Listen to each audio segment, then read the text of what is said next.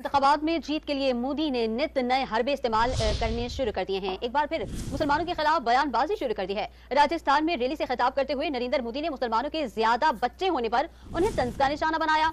भड़क मारी कि अगर कांग्रेस इकतदार में आई तो वो मुल्क की दौलत मुसलमानों में तकसीम कर देगी। इंतबात में जीत के लिए मोदी नित नए हरबे इस्तेमाल करने लगा। एक बार फिर मुसलमानों के खिलाफ बयानबाजी शुरू कर दी। राजस्थान में रैली से खिताब करते हुए नरेंद्र मोदी ने मुसलमानों के ज़्यादा बच्चे होने पर उन्हें तंज का निशाना बनाया। साथियों,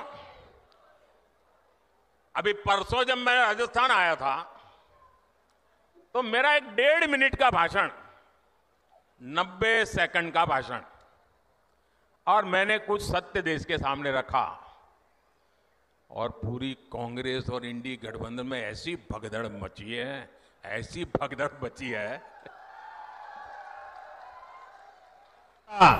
कि देश की सबकी संपत्ति पर पहला अधिकार मुसलमानों का है। इसका मतलब ये संपत्ति इकट्ठी करके किसको बांटेंगे? जिनके ज़्यादा बच्चे हैं उनको बांटेंगे। घुसपैठियों को बांटेंगे। क्या आपकी मेहनत की कमाई का पैसा घुसपैठियों को दिया जाएगा? आपको मंजूर है ये?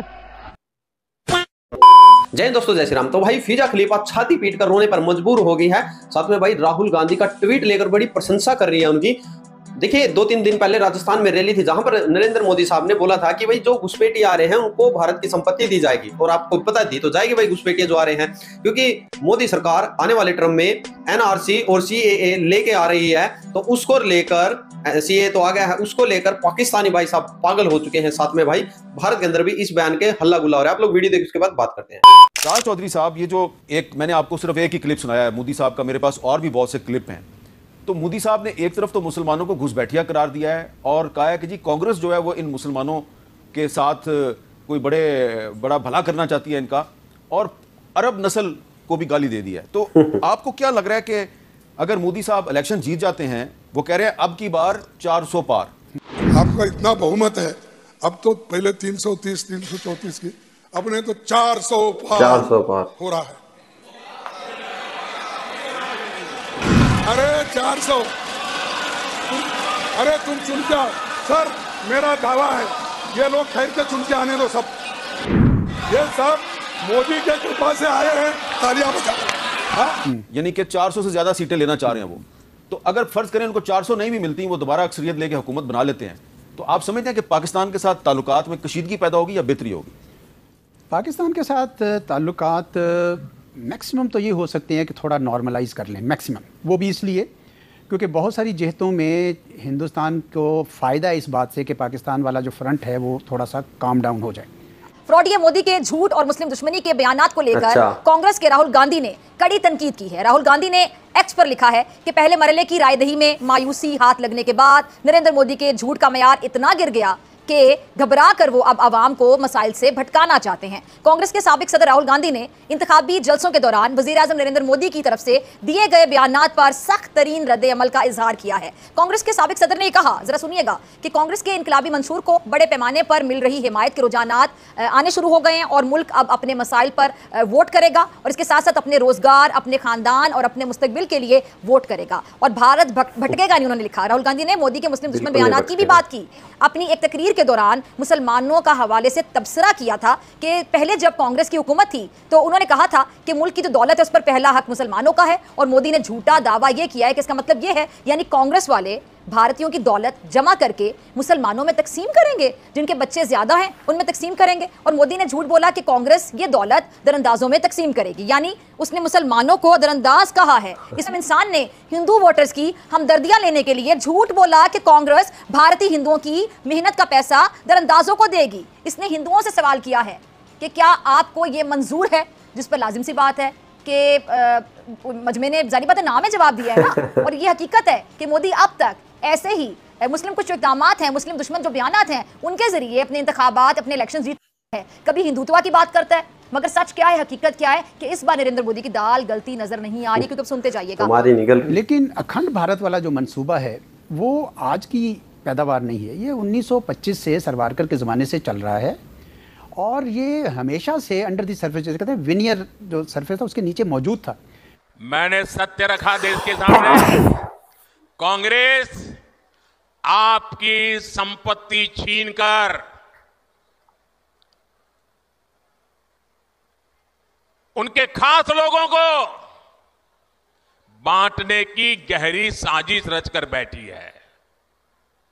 दो तीन दिन पहले मैंने कांग्रेस की, इस वोट बैंक की राजनीति, तुष्टीकरण की राजनीति का पर्दाफाश किया था। इससे कांग्रेस और उसको सिस्टम में उनको इतनी मिर्ची लगी है इतनी मिर्ची लगी है। है। कि वो हर तरफ़ गालियाँ देने में टूट पड़े जो आए वो मोदी को गाली दे रहा है। मैं कांग्रेस से जानना चाहता हूँ आखिर कांग्रेस सच्चाई से इतना डरती क्यों है? ये बात बोलने से पहले राहुल गांधी तुम जो बोलते हो कि जितनी जिसकी आबादी उतनी उसकी हिस्सेदारी। और उस पर मोदी जी बोलते हैं कि किसको देंगे? ज़्यादा बच्चे पैदा करने वाले को देंगे। ये दोनों बातें आपस में मिलती हैं या नहीं मिलती? अगर घुसपैठिए की बात हो रही है तो घुसपैठिए का हक इस देश की की रिसोर्सेज में, इस टैक्स में एक रुपये का भी नहीं है। वो सिर्फ़ हमारी रोटी अगर खा सकता है तो सिर्फ़ और सिर्फ़ जेल में खा सकता है। तुमने हमें साठ साल में क्या दिया? पहले ये बताओ, और ये सब चीज़ें अपने मैनिफेस्टो में से माइनस करो। बिना मतलब मुसलमानों को राजनीति के कटघरे में या राजनीति चुनाव के चौराहे पे लाके ना खड़ा करो कि पता चला जिस पार्टी की गाड़ी निकल रही है, मुसलमान के ऊपर से निकल रही है, चाहे वो कांग्रेस हो, चाहे वो सपा हो चाहे वो भाजपा हो। तो साहब, चुनावी मौसम में मोदी जी का राजस्थान बांसवाड़ा में दिया हुआ बयान ने आहाकार मचा दिया है, पारा बढ़ा दिया है, India alliance Congress party election commission पहुँच गई है। तो दोस्तों, आप लोगों ने देखा यानी कि पाकिस्तानी पत्रकार है जो ये हामिद मीर, आप लोगों ने देखा, ये वो पत्रकार है जो फ्रीडम ऑफ़ स्पीच खुद इनके देश में नहीं है। ये थोड़े दिन पहले बोला था एक बयान को लेकर पाकिस्तान के खिलाफ तो इसको भाई जेल में डाल दिया गया था। और क्योंकि इनको सिर्फ़ सैलरी मिलती है कि भाई तुम्हें सिर्फ़ भारत के खिलाफ बोलना है। भारत, देखिए भाई, पहली बात, भारत के पास इतना टाइम नहीं है कि भाई तुम्हारे हर बात का जवाब दे, क्योंकि भारत दो का विकसित भारत देखने जा रहा है। सपना लेकर चल रहा है। भाई, अन छोटे मोटे ऐसे चुनाव की तैयारी नहीं कर रहा। भारत सीधा एक सर्वश्रेष्ठ भारत होगा। दुनिया में विश्व गुरु की ओर भारत अग्रसर है। तो ऐसे छोटे मोटे जो पाकिस्तानी हैं, इनकी तरफ़ बिल्कुल भी ध्यान नहीं है। ये रोटते पीटते रहेंगे भाई।